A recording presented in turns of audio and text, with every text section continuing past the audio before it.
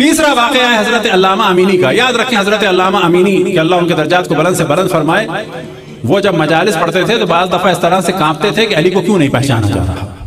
और उनकी अहम तरीन किताब है, इसी वजह से उनको याद किया जाता है, अल्लामा अमीनी साहिबुल गदीर। उनकी किताब है, किताब गदीर अलबत् याद रखें कि इमामत और खिलाफत पर जो सबसे अहम और बड़ी और सबसे बेहतरीन और इल्मी किताब लिखी गई है, वो है अबकातुल अनवार के जो लखनऊ से लिखी गई। इब्तदा फरमाई थी हज़रत आयतुल्ला मीर हामिद हुसैन ने और उसको मुकम्मल किया उनके फर्जंद हज़रत आयतुल्ला मीर नासिर हुसैन ने और वो है अबकातुल अनवार। उसकी अगर जिल्दें आज के दौर में छपे तो मुमकिन है कि सौ से ज़्यादा छपे। उसका खुला खुलासा हमारे उस्ताद आयतुल्ला मिलानी ने फरमाया है तो वो पच्चीस जिल्दों में हुआ है। खुलासा मुकम्मल नहीं। अल्लाह अमीनी फरमाते हैं कि बगदाद में एक दफ़ा अहल सुन्नत ने उनको बुलाया, और वो जानते थे कि ये बुला रहे क्यों, लेकिन फिर भी कहा कि देखो कोई इख्तलाफी बात नहीं हुई।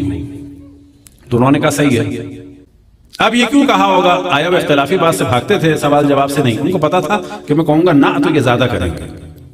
अब बहुत सारे लोग जमा हुए, उलमा बगदाद के जमा हुए। एक से काबिल उलमा। खाना वाना खत्म हो गया। और उस वक्त कुछ लोगों ने कहा कि हदीस बयान है। कुछ लोगों ने कुछ एतराज़ भी किए।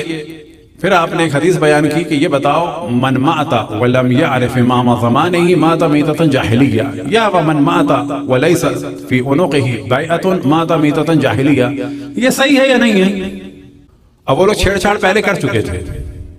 अब ज़ाहिर जवाब तो देना था। तो उन्होंने कहा, सबने कहा सही उन्होंने एक एक से पूछा, ये सही है? सही है? सही है? सबने कहा कि सही है। अब आप याद रखें कि सही बुखारी में जनाब हज़रत फातमा तो जहरा सलवातुल्लाम के लिए क्या नकल हुआ? हज़रत हु कि हज़रत फातिमा सलाम अहल सुन्नत के पहले सियासी खलीफा जनाब अबू बकर से नाराज़ हो गई।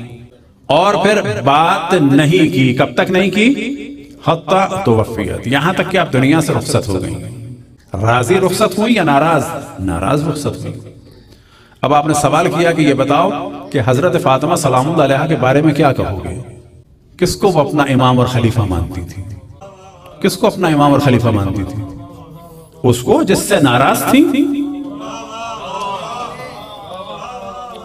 उसको जिससे नाराज़ थी? और बात नहीं करती थी, क्या उसकी बैत थी उनके गले में? क्या उसको मानती थी अपना खलीफा?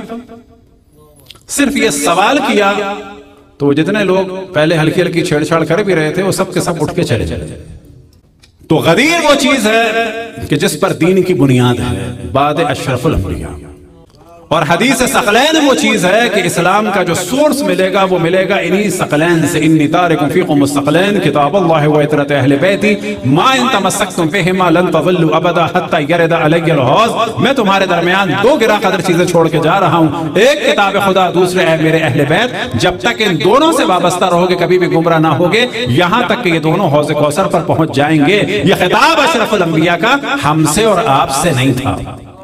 हुक्म है खिताब हमसे नहीं है। खिताब था पहले मरहले में किससे? असहाब से। उनसे फरमा रहे थे, मैं तुम्हारे दरमियान दो गिरा कदर चीज़ें छोड़ के जा रहा हूँ। एक किताब खुदा, एक मेरे अहले बैत। जब तक ए असहाब, तुम इन अहले बैत से वाबस्ता रहोगे और कुरान से वाबस्ता रहोगे, गुमराह न होगे। यहाँ तक के तुम लोग हौजे कौसर पर इनके साथ पहुँच जाओगे। बस जो भी अहले बैत से टकराया, वो जहन्नम में गया।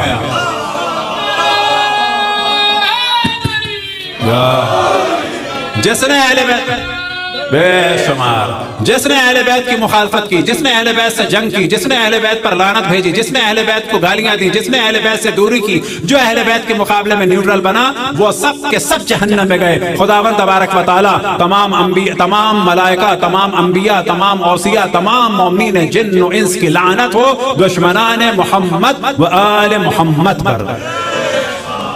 अल्लाह सुबहाना हुआ ताला, तमाम मलाइका, तमाम अंबिया, तमाम औसिया, तमाम मोमिन जिन इसका दुरुद सलाम हो, मोहम्मद मोहम्मद पर।